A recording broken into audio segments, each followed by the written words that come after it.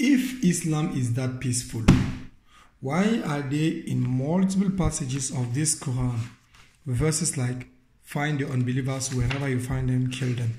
If anybody gets out of Islam, if any Christ, if any Muslim decides to abandon the faith, kill him. If any Muslim finds a Christian somewhere, execute him, exile a person, chase him, execute cut his hands, cut his left hand, cut his right hand, cut his left hand and right leg, and then the right leg and the, the, the left hand, and so on and so forth. It is all over. The whole of chapter 2, the whole of chapter 5, the whole of chapter 9 of the Quran, all about finding Muslims and killing.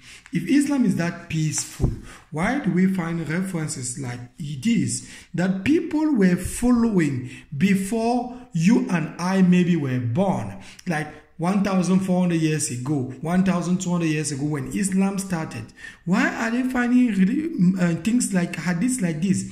As follows, volume 4, book 52, number 260, where Muhammad said, um, if anybody gets leaves Islam, kill him. The Prophet said, if somebody, a Muslim, discards his religion, kill him immediately. So it means it's the function of the Imam maybe to know who is coming to pray and who is not coming to pray. The Imam is just definitely functioning as a spy, looking who is not praying, definitely who is not coming out more to church, to, to, to the to the mosque, and so on and so forth. At the end of the day, we report this person that is no more coming to pray, report this person that is no more practicing Islam, and then at the end of the day, we question him and then we kill him if he decides not to, if he decides to get away from Islam.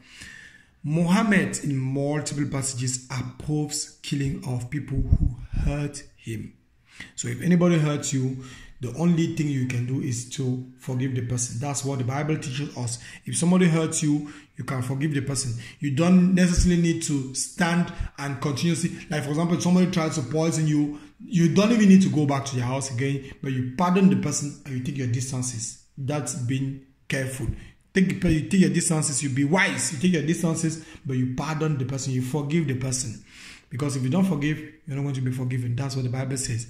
But look at what somebody here is saying. The prophet, the person whom was being spoken by Allah, telling the Muslims that if somebody uh, hurts him, they have to kill the person. You can read the story for your own. Chapter 5, uh, book, volume number 5, book 59, number 369 of Sahih al-Bukhari.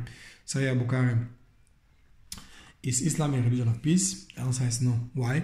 Because in all passages, like almost all chapters of the Quran, we are going to be finding references like chapter 9, verse 5, chapter 2, verse 91, chapter 2, verse 93, 193, sorry, chapter 3, verse 118, chapter 4, verse 75 and 76, chapter 5, verse 33, chapter 8, verse 12, chapter 8, verse 65, chapter 9, verse 73 and 123, chapter 33, 60 to 62. All these verses are urging Muslims to find the Christians wherever they are and to slaughter them and to behead them and to go for war and to kill themselves and to blow up themselves. All these passages, Allah is the one encouraging Muslims. Allah is telling Jibril to tell Muhammad that, hey, write it down and tell the Muslims to go and die for salvation. Is Islam a religion of peace? My answer is no. Why? Because in Islam we are going to find the only way for a Muslim to have eternal life, according to the Bible, for a Christian or for anybody who repents of their sins and believe on the Bible, on the gospel and believes in Jesus Christ has eternal life. You only need to do one simple thing. You truly believe in Christ. You repent of your sins. You change of your ways. That is, repenting means change of ways. You believe in Jesus Christ. By believing in Jesus Christ, you are accepting Jesus Christ as your Lord and Savior. You are repenting of your sins. And then you trust in Christ for your salvation and you are saved.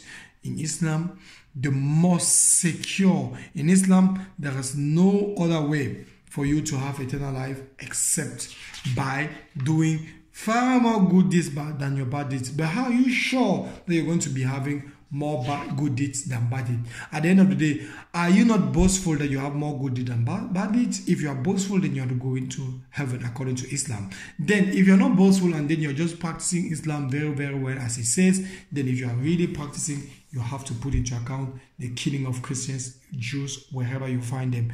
Not in the time of war, as you can read by yourself. This is a matter of life and death. This is a matter of eternity. You cannot risk your eternity just because you saw a YouTube video, you saw somebody speaking something. You have to go and read the references for yourself and understand that this thing that is saying here is actually true. And then in Islam, the most secure way for you to have eternal life is either to die as a jihad, die in jihad as martyr, and you have 100% sure certainty you're going straight to heaven. So Muslims will come on the comment section of this video and say, no, we are no more doing this thing. We are no more killing people. We are no more killing people today. What about 600 Christians killed every day?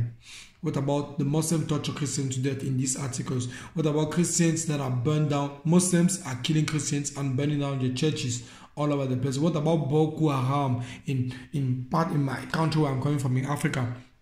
all these things these are things that are happening now now now and you will see reference of the quran for example volume 5 book 59 number 369 of sahih bukhari which is saying that somebody wanted to kill somebody and he came and asked muhammad that i really want to kill this person but what what should i do and then can i he asked muhammad if he can lie so that he can take that lie as a point of as they did with Jesus Christ. They went and lied upon on, on, Jesus Christ that Jesus was just saying stupid things, bad things, bad things, bad things, and then you know so you can go and lie. And then when he went and lied, he took that lie as a point of as a foundation and then killed the person.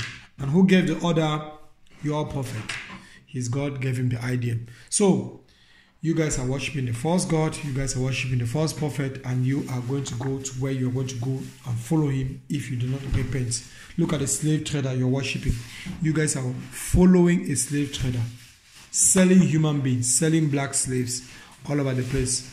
Do you have black friends? Do you have friends of color? That you yourself, you have color. Repent of your sins. Get away from Islam. You shall be saved only in Jesus Christ. Stay blessed.